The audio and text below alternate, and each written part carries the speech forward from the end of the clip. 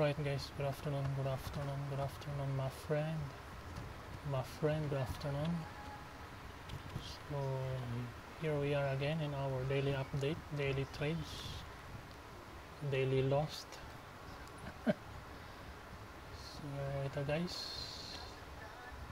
naka-entry tayo ng sell Euro USD dahil kumorbada na si momentum signaling uh, daily time frame.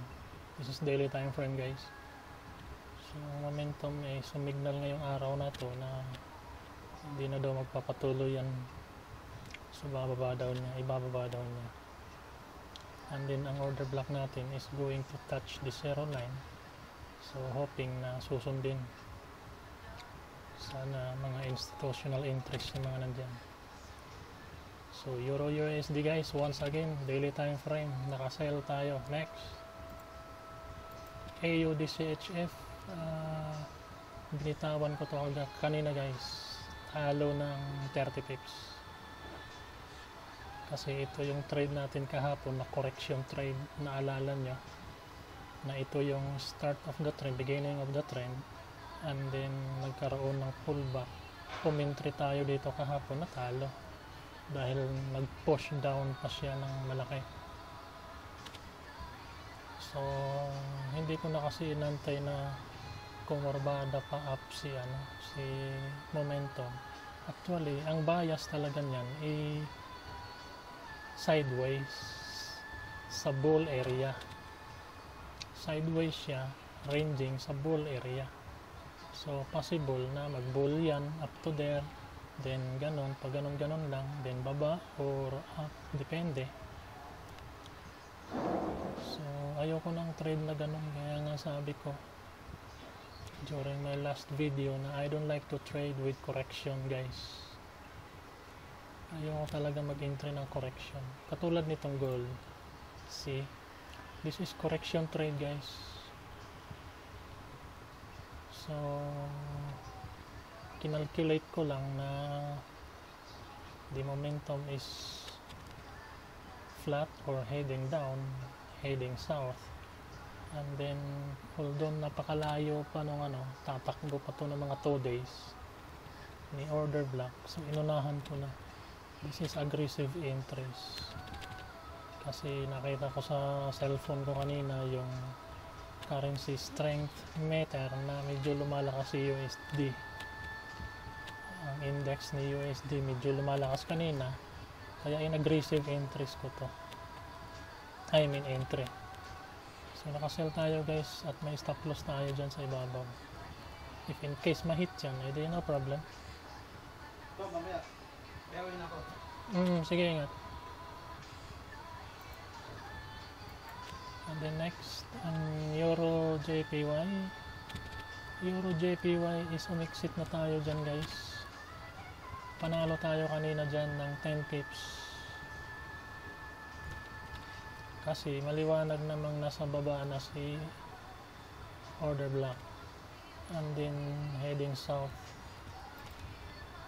Kaya lang ayoko pang mag entry dyan dahil ayoko pang balikan yan dahil gusto kong ma-break niya tong dynamic is NR yan ang plano ko dyan. Pag na-break niya yan so safe na. So yan lang guys ang trade natin. Ito monitoring. For monitoring this is up and then slowing down. Signaling na magsa sideways yan ranging. Ranging sa daily. So, yan lang guys. I repeat again, Euro USD, nakasell tayo.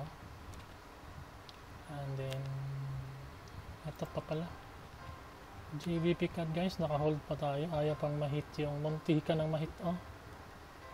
Pero ayaw pa talagang mahit ang 200 pips sa profit natin, yung trailing stop natin. So keep holding lang, medyo humina na ang GBP pero hold lang pag nag cross to rito order block sa zero line I'm sure na mahihit na yung trailing stop natin. So no problem. 200 pips profit. So yan lang guys.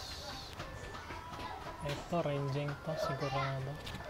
Pero nasa bullish sa bullish area siya magsa sideways so possible na itutulak ng konti yan hanggang dyan. So i-exit na lang tayo basta't focus lang tayo sa USD guys lalo na sa gold. This is aggressive entries dahil I mean entry dahil